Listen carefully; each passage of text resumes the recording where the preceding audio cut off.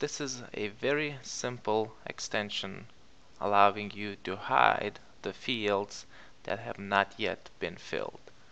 If I go to one of my records, you can see it hides the fields that are still blank. If I go to my full edit view, it does the same.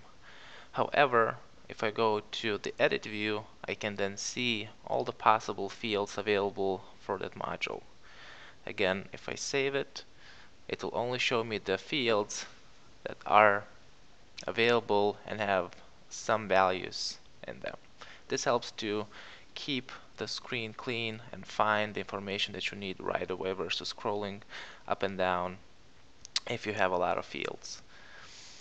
Those fields can be configured by going to CRM settings, other settings, hide fields, and here you can add configuration for each module and number of fields.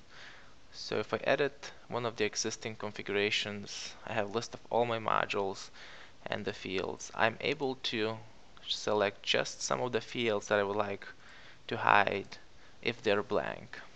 In addition, I can specify to only hide the fields if their value is, for example, NA, TBD, 0, or any value that applies to your business workflow.